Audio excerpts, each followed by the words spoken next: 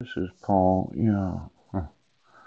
Uh, you know, just looking at these inalienable rights, mhm, not subject to alienation, separation, mhm, characteristics of those things that cannot be bought or sold or transferred from one person to another. Yeah.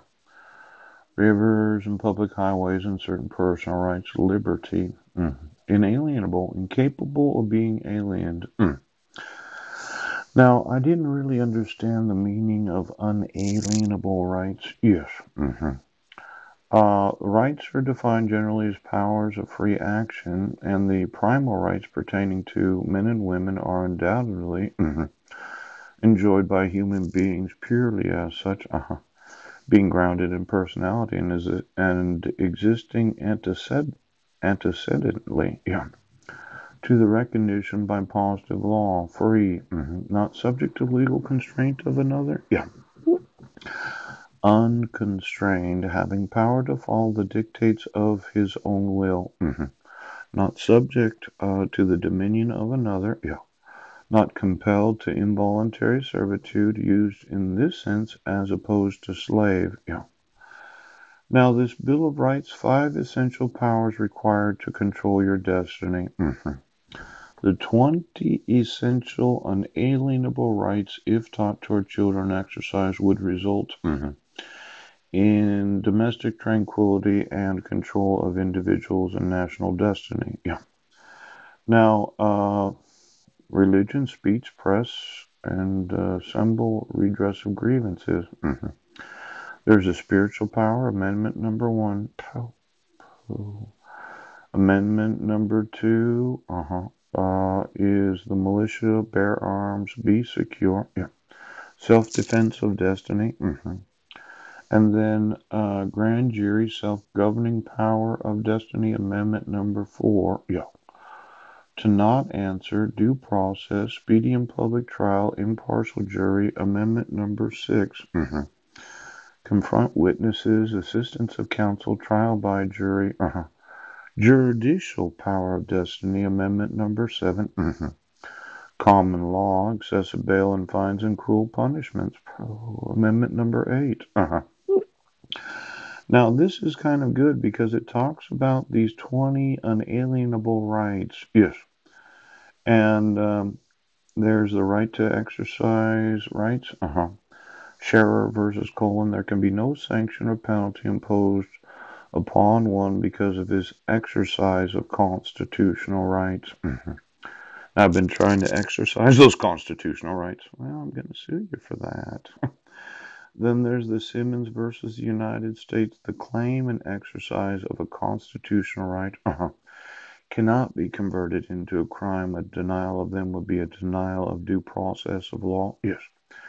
Now you've said my two million, uh-huh, 260,000 emails. Um, you converted it to the crime of cyber stalking. Pooch.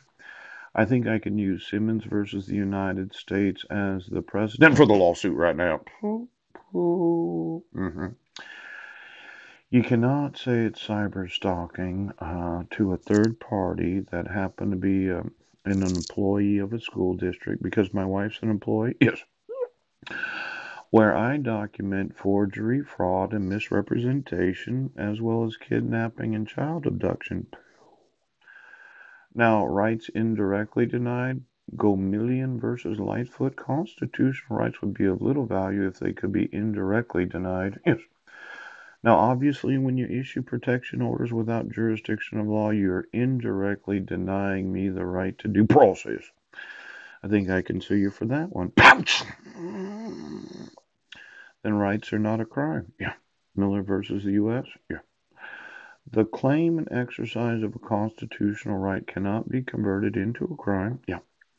Uh, Simmons versus U.S. We find it intolerable that one constitutional right uh-huh, should have to be surrendered in order to assert another. Mm. Miranda versus Arizona, where rights secured by the Constitution are involved, there can be no rule making or legislation mm-hmm, which would abrogate them. Then Stuck versus Medical Examiners, one challenge, jurisdiction cannot be assumed, it must be proved to exist. Yes. Now, you said you have the jurisdiction to issue that criminal complaint. How? I said you did not have authority of jurisdiction. I think I could use Stuck versus medical examiners. That I can prove that your jurisdiction did not exist. It was assumed. Yeah. You didn't have the jurisdiction issue the protection order in 2011 because we weren't residents. Yes. You did not have the jurisdiction to reissue it in 2012 because I was on trial for the previous uh, protection order. You didn't. Yes. You didn't have jurisdiction when you issued it after 48 days. Pooch. I think Stuck versus medical examiners will be applicable for each of the arrest and as well as each of the courts now right to practice law. it seems that the American Bar Association that was founded in August 21st of 1878, yep, it's a voluntary association of lawyers and was incorporated in 1909 in the state of Illinois. Yeah. Now, this is somewhat interesting. Mm-hmm. Could you get me their actual uh, states of incorporation, mm-hmm. the amount of money they pay for the right to uh, exist as an association, because it is a bar association, and the approximate number of all fees that they've collected since incorporating in the state of Illinois in 1909? approximately 109 years from now. I'd like to know. I'm going to have to sue you for that. now, the state mm-hmm, does not accredit the law schools or hold examination, has no control over jurisdiction over the ABA or its members. Yeah. The ABA accredits all law schools. Now, let's say I did have the legal right to sue the American Bar Association because I've emailed them. Yes, yes. And I sued them for every fee that's ever been paid. Pow, pooch. Then I sued to have them removed from their individual states of incorporation so that no one could accredit the law schools of the United States of America.